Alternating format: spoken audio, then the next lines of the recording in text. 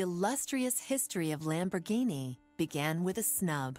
Ferruccio Lamborghini was the owner of a successful tractor company in Italy. When he demanded higher quality parts on his Ferrari, though, he was dismissed by the company's founder Enzo Ferrari as a simple tractor mechanic.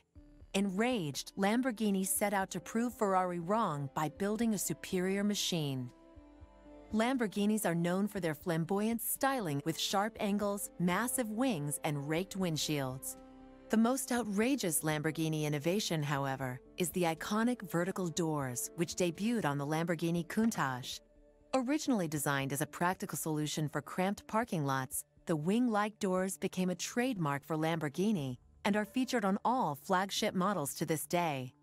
Thanks to car enthusiasts, modified Lambo doors have been installed on everything from pickup trucks to Honda Civics in an attempt to capture a bit of that Lamborghini flair.